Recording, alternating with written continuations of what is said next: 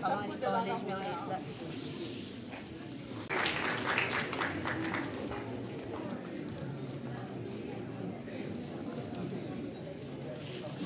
a very warm welcome to this inaugural ceremony of two days international conference on advances in computer science and technology. I would like to welcome our chief guest, Honorable Vice Chancellor, Professor Dr. Koyung Sen, Cluster university Srinagar.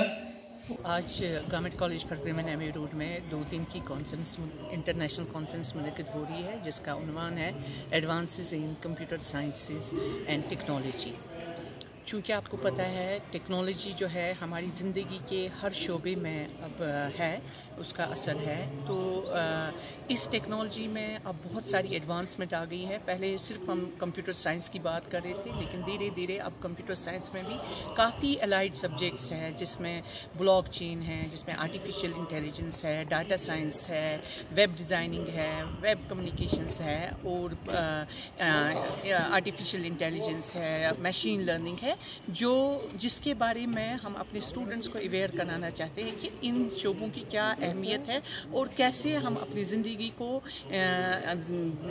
आसान बना सकते हैं by making use of these computer applications